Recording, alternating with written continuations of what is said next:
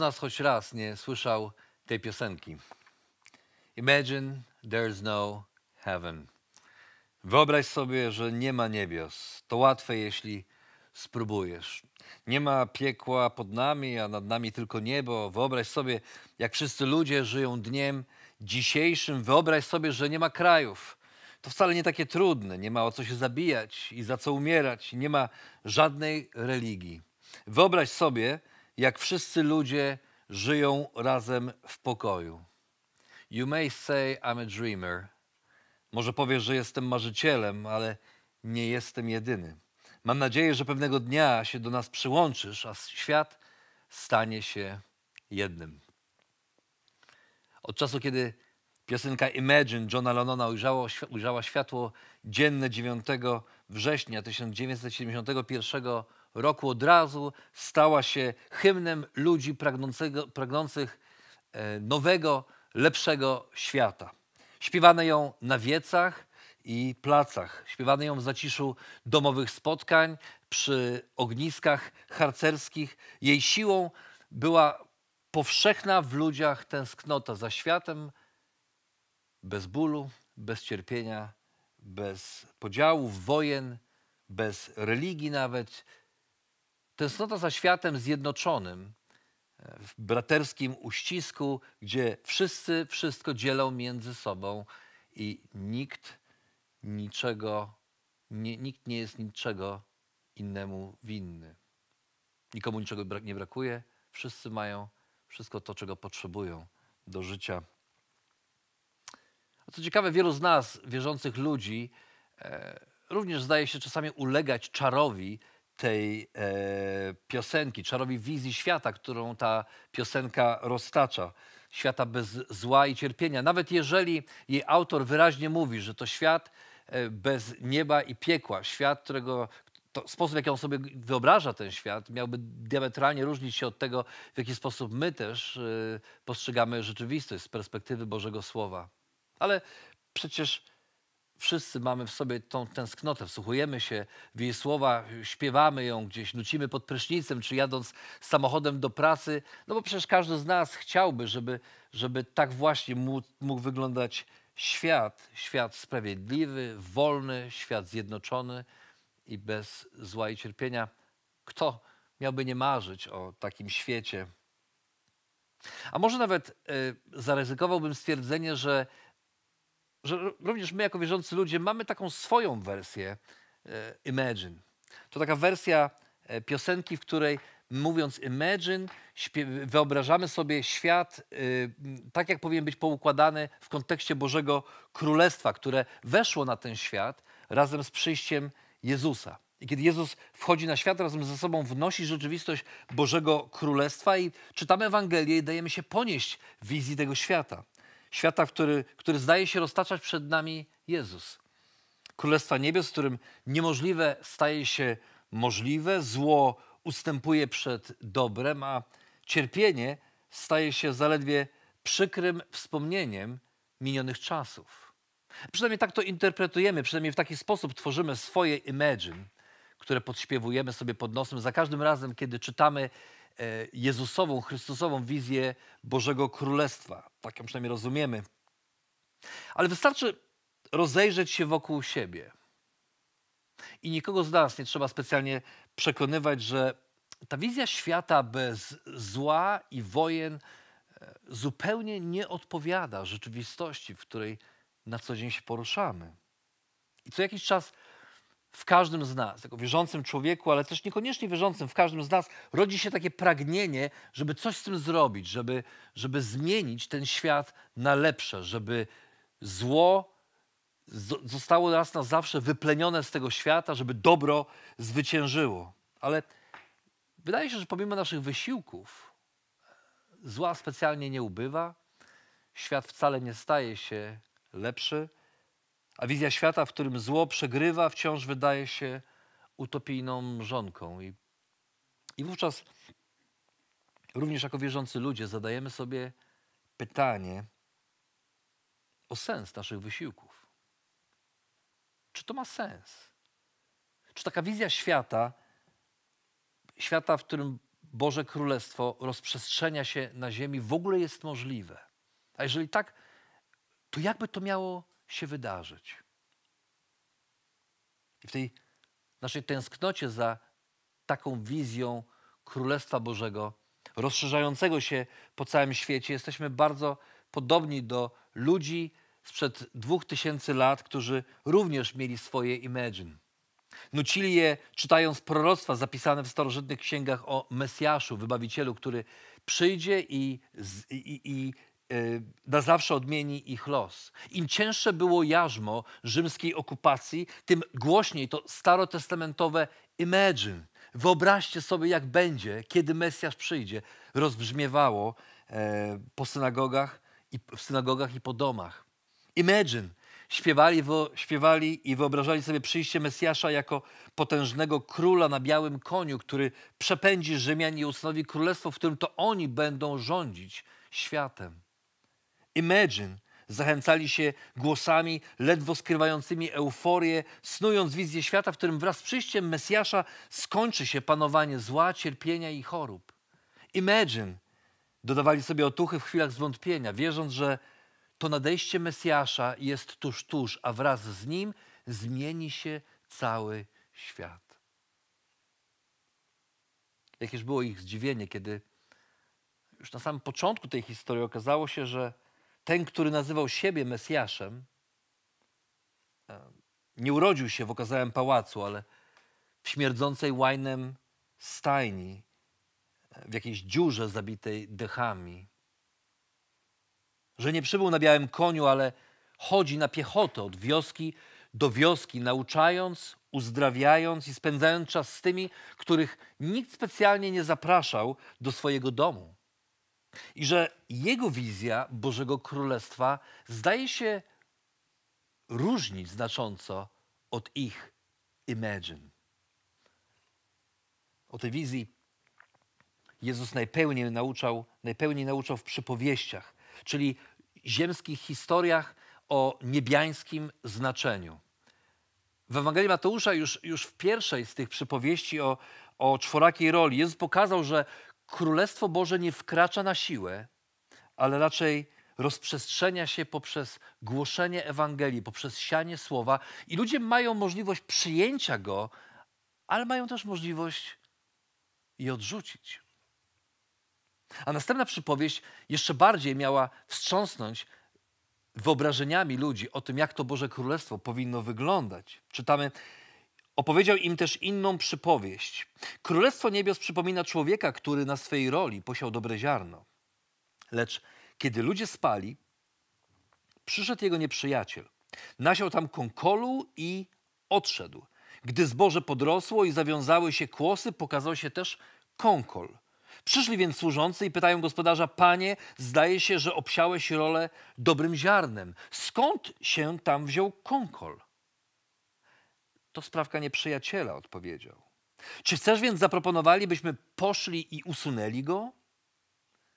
Nie, zdecydował gospodarz, bo usuwając konkol, moglibyście powyrywać pszenicę.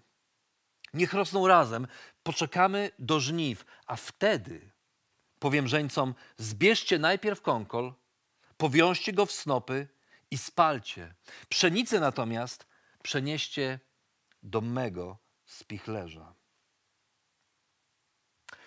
Oto mamy gospodarza, który sieje dobre ziarno i mamy nieprzyjaciela, który w nocy sieje konkol, sieje chwast, roślinę spotykaną na Bliskim Wschodzie, która rośnie właśnie wśród zbóż, ma gorzkie ziarna, nawet mogą być one trujące. Kiedy wyrabiano mąkę i kiedy, kiedy wyrabiano mąkę z pszenicy, a w tej pszenicy znalazła się odrobina konkolu, to mąka miała gorzki smak, ten sam chleb miał gorzki smak, mógł nawet być trujący. Dlatego troska służących o to, żeby wyrwać konkol z pola pełnego pszenicy, jest jak najbardziej zrozumiała. Tak samo jak zrozumiałą rzeczą jest ich ich złość na nieprzyjaciela, który przyszedł w nocy i posiał konkol. Prawo rzymskie zna przypadki właśnie takiego złośliwego obsiewania pola sąsiada konkolem w nocy. One były karane oczywiście. Więc nic dziwnego, że służący denerwują się, czy mają złość, są, są, są, są źli na takiego nieprzyjaciela i mówią, trzeba, trzeba go pogonić, trzeba wyrwać te chwasty, trzeba pogonić tego nieprzyjaciela. Ale to, co niezrozumiałe w tej historii, to niechęć gospodarza do natychmiastowego wyrwania chwastów. Nie, czytamy, zdecydował gospodarz, bo usuwając kąkol, moglibyście powyrywać pszenicę. Niech rosną razem, poczekajmy do żniw. Co to za gospodarz, który nie chce oczyścić swojego pola z chwastów i decyduje się czekać do żniw? Moglibyśmy zadać pytanie, co to za gospodarz? Odpowiedź brzmiałaby taki, który zna się na roli lepiej niż ktokolwiek inny.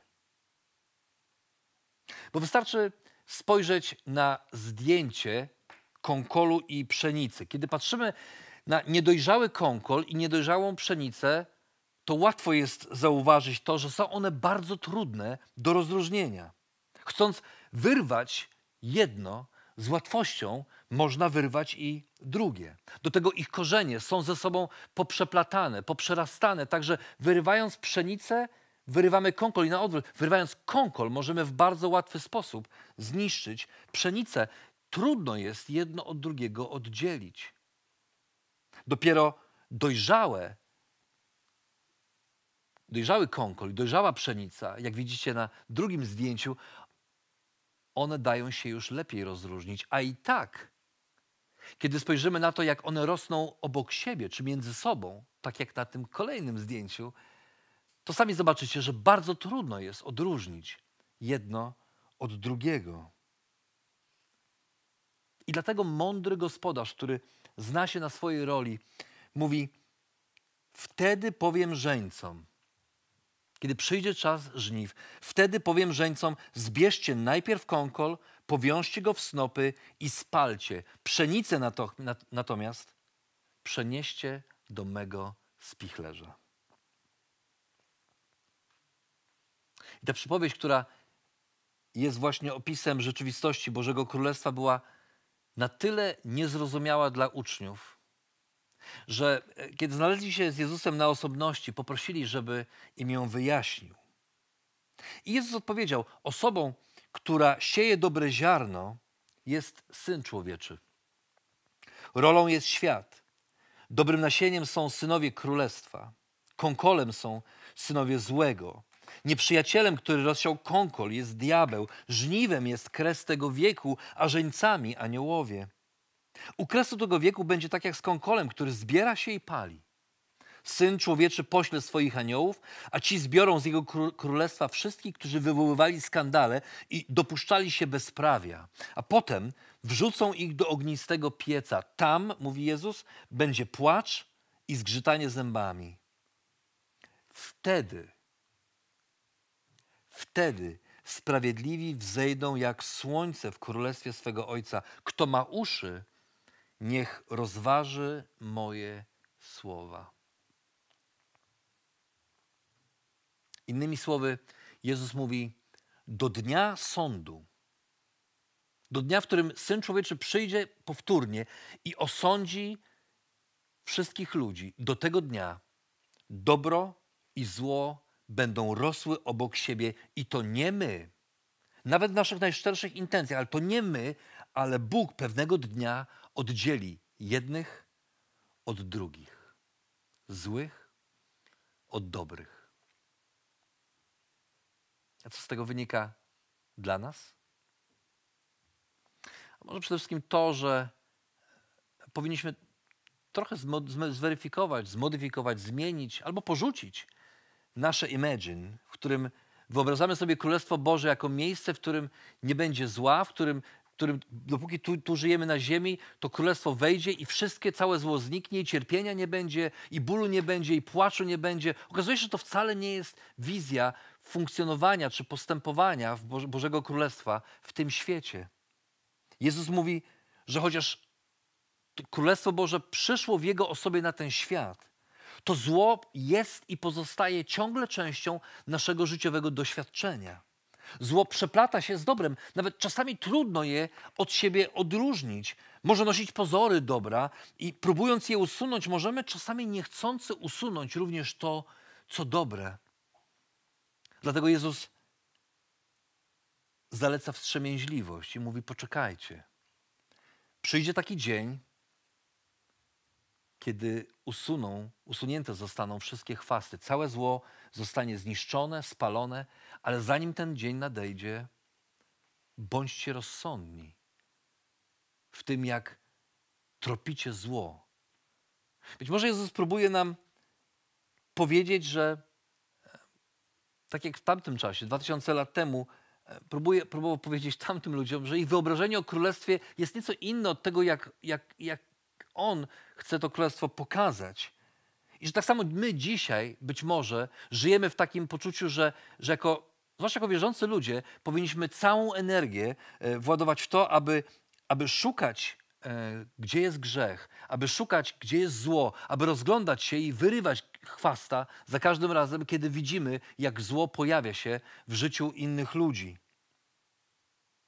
I być może jest to związane z taką utopijną wizją świata, w którym wyobrażamy sobie, że jeżeli tylko będziemy wystarczająco dużo próbować, jeżeli tylko będziemy wystarczająco starać się zidentyfikować zło i wyrwać to zło, to świat będzie światem wolnym od zła, wolnym od grzechu, wolnym od cierpieniu, cierpienia. Okazuje się, że to nie jest nawet do końca, nie tylko nie jest to możliwe, ale Jezus mówi, to nie jest plan na działanie Bożego Królestwa. Więcej. Jezus poucza nas, żebyśmy przypadkiem nie brali się za wyrywanie chwastów, że to nie jest nasze zadanie, bo możemy się srogo pomylić. Tak jak w przypadku pewnej szesnastoletniej dziewczyny, wychowanej w kościele, która właśnie w wieku 16 lat miała za sobą wszystko, czego młoda dziewczyna może w tym wieku doświadczyć. Od czasu do czasu pojawiała się na nabożeństwach, tam też chodziła jej rodzina, e, bliższa i dalsza. E, czasami pojawiała się na nabożeństwach, ale prawdę mówiąc, więcej czasu, czy większość czasu spędzała na imprezach z przyjaciółmi, w klubach i barach. Starsi wspólnoty, patrząc na nią, nie mogli pozwolić, aby e, taka dziewczyna, 16-letnia, szesnastolatka szargała dobre imię jej, ich społeczności. Postanowili więc wyrwać chwasta i zabronili jej przychodzić na nabożeństwa, na spotkania młodzieżowe, na, gru na grupy modlitewne. Miała się trzymać z dala od wspólnoty.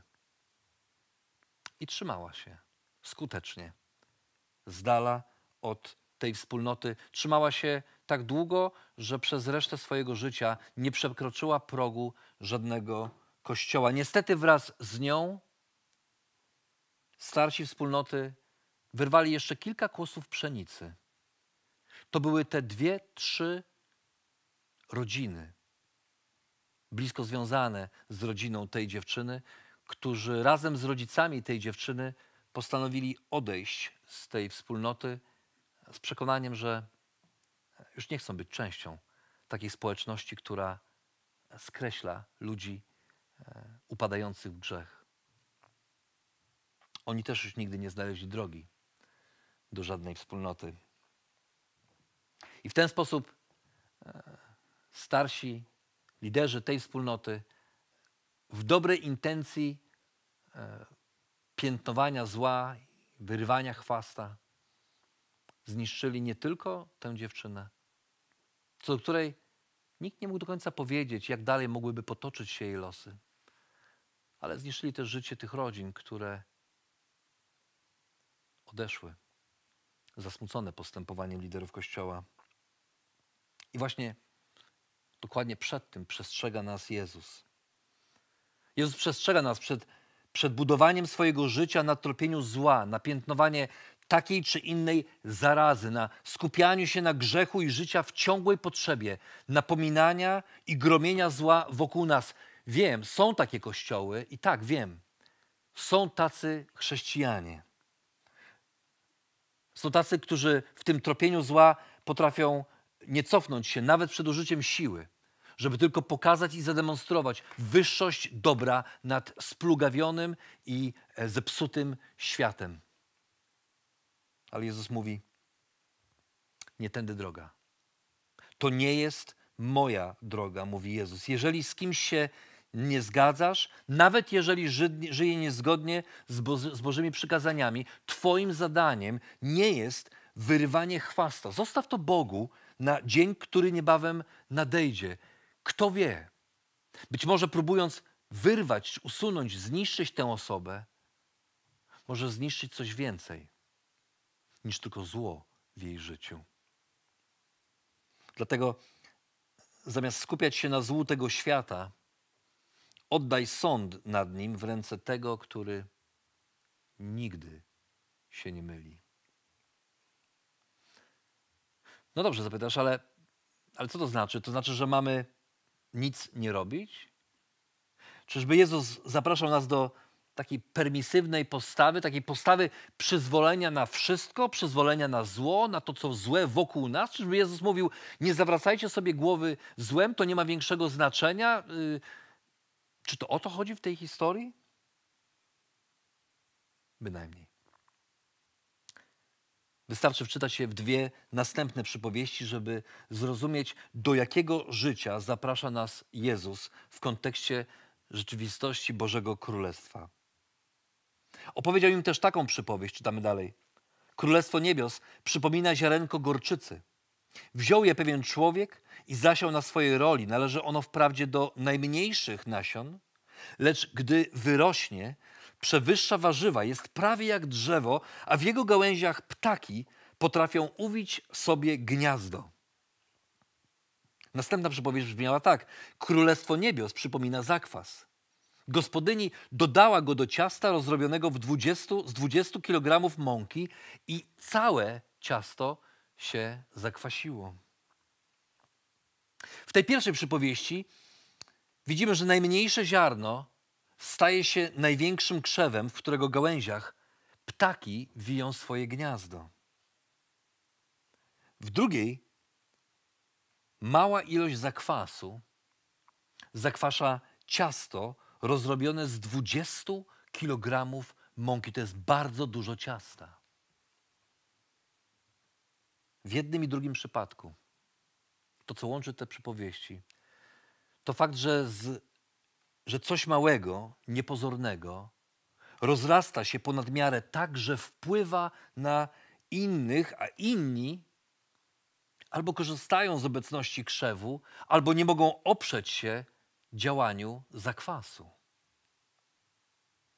I właśnie tak działa królestwo. Wiosną 2004 roku dziesięcioletni Austin Goodwine oglądał film, na którym pokazano dzieci w Afryce. I to były, była konkretna grupa dzieci. Były to sieroty po rodzicach zmarłych na AIDS. Austin zdał sobie sprawę z tego, że te dzieci tak naprawdę w niczym się od niego nie różniły. Poza tym, że nie miały przy sobie najbliższych sobie ludzi. I podczas Światowego Dnia Walki z AIDS w 2004 roku postanowił rzucić 2057 rzutów osobistych do kosza, które miały reprezentować 2057 siedmioro dzieci osieroconych podczas tego jednego dnia. Podobno tyle właśnie w tamtym czasie dzieci traciło swoich rodziców w wyniku AIDS. Przyjaciela, przyjaciele i rodzina zasponsorowały y, Ostina i w ten sposób Austin na pierwszym takim wydarzeniu zebrał 3000 dolarów, które natychmiast przeznaczył na pomoc dla tych dzieci. I w ciągu następnej dekady działanie Ostina zmieniło się w największy na świecie maraton rzutów osobistych do kosza, zwany Hoops of Hope, podczas którego uczestniczy ponad 40 tysięcy osób z 25 krajów. I od tamtego grudnia, od tamtego pamiętnego grudnia 2004 roku ponad, e, e, Hoops of Hope zebrało ponad 4 miliony dolarów dla dzieci osieroconych w wyniku AIDS w Afryce, a sam Austin napisał dwie książki i dziś pracuje jako lider młodzieżowy w jednym z kościołów w Waszyngtonie. Bo tak właśnie działa królestwo. Można, można spędzić lata piętnując ludzi chorych na AIDS. Można urządzać krucjaty na rzecz ich ukarania, na rzecz ich przymusowego leczenia. Można urządzać krucjaty na rzecz e, e, być może niewłaściwego stylu życia, e, z powodu którego zarażają się wirusem, wirusem HIV, który prowadzi do, prowadzi do choroby. Można narzekać, że źli rodzice krzywdzą bezbronne dzieci, niewinne dzieci. Można to robić. I można próbować wyrwać chwasty, ale można też zrobić coś dla tych dzieci. Zamiast skupiać się na złu tego świata, można zrobić coś dobrego dla tych, którzy cierpią z powodu zła. I tak właśnie działa królestwo. Zamiast wyrywać chwasty, sieje swoje ziarna, które choć niepozorne na początku, stają się wielkie po czasie, a ich wpływ zmienia rzeczywistość wokół nas. I tak było właśnie wtedy, kiedy kilku prostych rybaków z Galilei zaczęło głosić Chrystusa w Jerozolimie, Judei i aż po krańce ziemi, ponieważ tak nakazał im ich Pan. Tak było, kiedy rozproszeni w wyniku prześladowania chrześcijanie zakładali małe wspólnoty, które później rozrastały się i wywierały wpływ na miasta i miasteczka, w których się znajdowały. Aż zamiast tępić chrześcijan w Cesarstwie Rzymskim, postanowiono uczynić z niego religię państwową. Tak było wtedy, kiedy kilkoro chrześcijan zaczęło zbierać ze śmietników porzucone dzieci, najczęściej dziewczynki albo chore dzieci, niepełnosprawne, aż w końcu prawnie zaczęto chronić każde dziecko, zabraniając wyrzucania dzieci na śmietnik. Tak było, kiedy jeden niemiecki mnich przybił 95 test na drzwiach kościoła w Wirtemberdze i powiedział dosyć. Trzeba wrócić do słowa, trzeba przetłumaczyć y, Pismo Święte na języki narodowe, tak żeby prości ludzie, zwykli ludzie, każdy człowiek mógł je czytać. I tak się stało. Przetłumaczone na języki narodowe Pismo Święte zmieniało bieg życia nie tylko religijnego, ale też społecznego i politycznego całych społeczeństw. Tak było też wtedy, kiedy garstka, dosłownie, garstka chrześcijańskich intelektualistów, nie mogła patrzeć dłużej na zbrodniczy proceder niewolnictwa i po wielu, wielu latach doprowadziło, doprowadzili do uchwalenia prawa znoszącego niewolnictwo w Anglii, a potem poszło już jak domino. Po Anglii kolejne kraje doprowadzały do zniesienia niewolnictwa. I tak to, co zaczęło się jako mała inicjatywa wielkich ludzi w jednym kraju, odmieniło losy milionów ludzi na całym świecie. Tak było wtedy, kiedy w grudniu 1955 roku niepozorna, czarnoskóra kobieta Rosa Parks odmówiła ustąpienia miejsca białemu mężczyźnie w autobusie w Montgomery w stanie Alabama, co dało początek wielomilionowemu, wielomilionowemu ruchowi obywatelskiego nieposłuszeństwa pod przywództwem pastora Martina Luthera Kinga, który ostatecznie doprowadził do zniesienia segregacji rasowej w Stanach Zjednoczonych. Tak właśnie działa królestwo. No, zaczyna się od małych rzeczy, ale rozrasta się i staje się niemożliwe do powstrzymania. Tak było, tak jest i tak będzie. Królestwo Boże zaczyna się od małych rzeczy, które każdy z nas, ty i ja, możemy zrobić w imieniu Jezusa. I nagle, nagle nie wiemy jak. Ale te małe rzeczy nagle rozrastają się i przerastają nas samych, a ich wpływ na świat jest dużo większy niż sobie kiedykolwiek wyobrażaliśmy. Chociaż nie rwaliśmy chwastów, chociaż nie skupialiśmy się na złu tego świata, ciemność ustąpiła pod naporem dobra, bo zło zastąpiliśmy dobrem. Dlatego zamiast skupiać się na złu tego świata, już dziś. Poszerzaj granice Bożego Królestwa, zaczynając od małych rzeczy i wpływając na rzeczywistość wokół ciebie. Możesz powiedzieć, że jestem marzycielem, ale nie jestem jedyny. Wyobraź sobie,